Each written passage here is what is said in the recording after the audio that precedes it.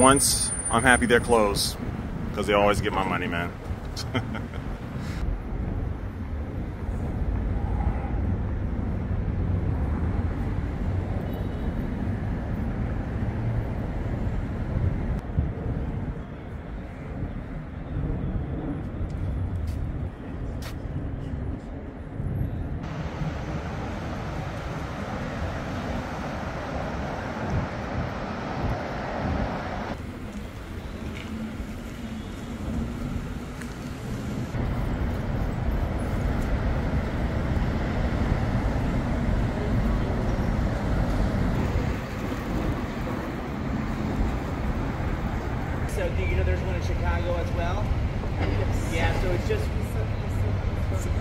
it's just what you do.